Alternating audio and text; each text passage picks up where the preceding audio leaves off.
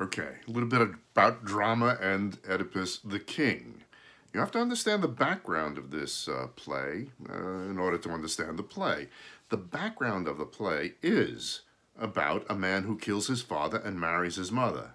That's the background of the play. It's not the play. The play has to do with solving a mystery, the mystery of who killed King Laius, who was the father of Oedipus.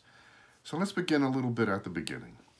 Here we have a marriage between Jocasta and Laius. Laius is the king of Thebes. He marries Jocasta, and then he finds out from the Oracle of Delphi, we'll get back to Oracle of Delphi in a little bit, which tells him that if he has a son, his son is going to grow up uh, to be the cause of his death. In other words, the son is going to kill him. So he decides not to have any children, which means that he decides not to have sex with his wife.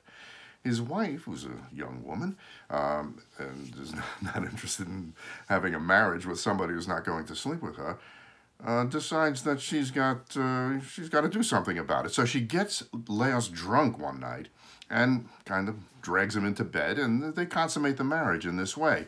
She gets pregnant, and after a while, she thinks she better confess to her husband what happened because she's beginning to show. Uh, her husband says, okay, all right, uh, I understand this could happen, but uh, let's see. When you get the child, what we'll have to do is uh, take care of the matter, which meant in ancient Greek terms, uh, times rather, to take the child and put him on the mountainside in order to die of exposure or to die, you know, being devoured by some wild animal.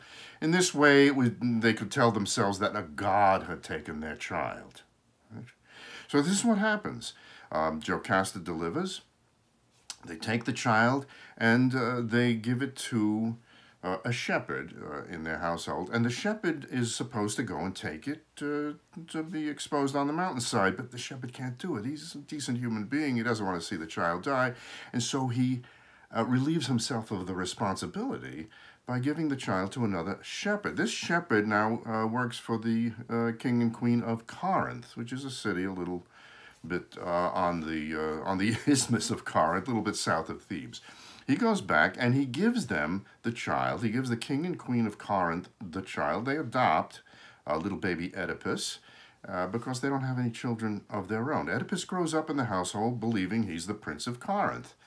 He's at a wedding one one day, and uh, while he's standing around looking for something uh, to do, uh, some drunk sidles up to him and says to him, "You think uh, those are your parents?"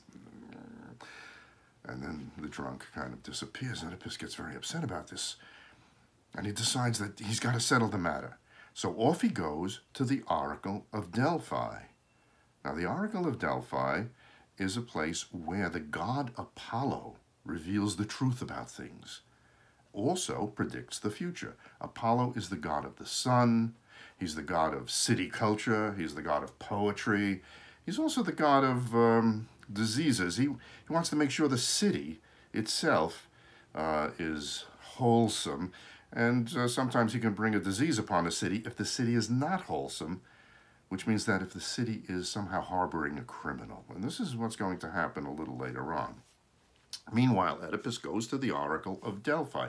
Delphi is in one of the mountain ranges of, of Greece, and asks the question, who are my parents? Now, the Oracle always comes back with something mystifying or something disturbing, uh, and never answers the question directly. So this time the Oracle tells Oedipus, you're going to kill your father and marry your mother. Oedipus, Oedipus gets very upset about this and decides he's not going to go back to Corinth. And he goes to a place where the road divides.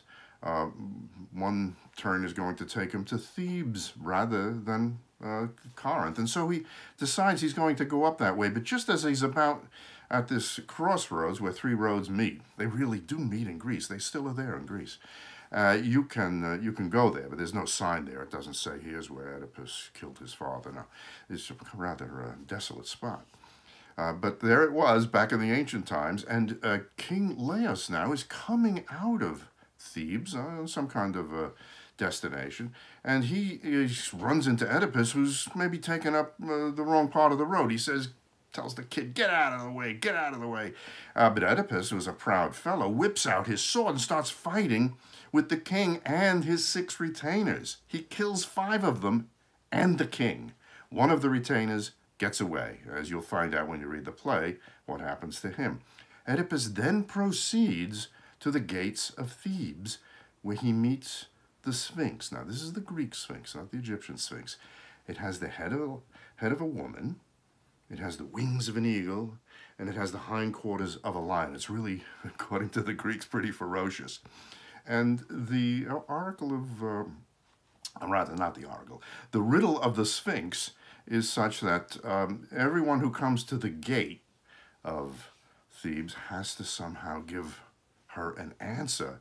She's been plaguing the citizens of, of Thebes, stealing their babies, eating them, doing all sorts of nasty things, and not letting anybody in the city and not letting anybody close to her. Uh, so that they might be able to handle the situation. And anyone who came to the gates of the city was asked this question. Now, if they didn't get the answer right, they'd be devoured. So uh, nobody's been successful to this point. The question is this, what walks on four legs in the morning, on two legs in the afternoon, and on three legs in the evening? Well, Oedipus has the answer. He's a smart fellow. And of course, we know the answer now, thanks to this play. The answer is man. Man crawls uh, when he's a child. He walks upright in the afternoon of his life, and then in the evening of, the, of his life, he needs a cane in order to get, to get on. He answers the question correctly. The Sphinx is so upset about this that she just shrivels up and dies. Uh, like the wicked witch of the west when Dorothy throws water on her. And Oedipus now enters the city. He saved the city from this uh, really horrible creature and um, he's celebrated, and at the same time, uh, the city, which uh, which has lost its king, and has a queen who's unmarried, uh, offer, makes an offer to Oedipus, saying, "Look, why don't you why don't you marry the queen, who was probably fairly young, a fairly young woman when she had him? Of course, it's his mother, uh, uh, but he doesn't know this." And uh, they say, you know, you can be the king. So they get married. And then they have four kids, and everybody's happy until a plague breaks out. Now, this is where the play begins. The play is not about a man who uh, kills his father and marries his mother. That's background. The play is about this.